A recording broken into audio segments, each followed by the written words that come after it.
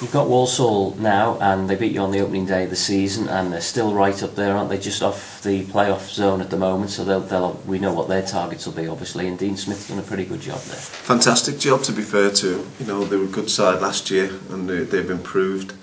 Uh, they want to pass it. They, they play football in the right way. There's no doubt. I, it certainly won't be a physical game.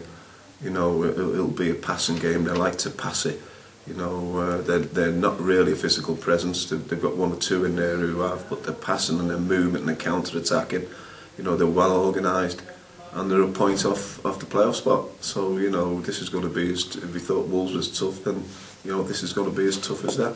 But, you know, you've just come out of the Wolves game and you be able to say to the players, look, you've done it against Wolves, one of the best, if not the best side in the in the division. There's no reason you can why you shouldn't go out and do it again. Well, that's it. You know, it, it's gaining the confidence we hope uh, from the Wolves' performance uh, because sometimes a couple of new faces coming in, you know, brightens the place up as well.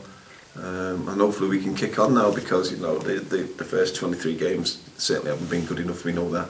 You know we've been hanging on, um, and hopefully now we can we can kick on in the right direction and you know start getting a few more wins, especially at home. You know that that's the big place for us. If you're going to stay in this division, you certainly have to be winning your home games.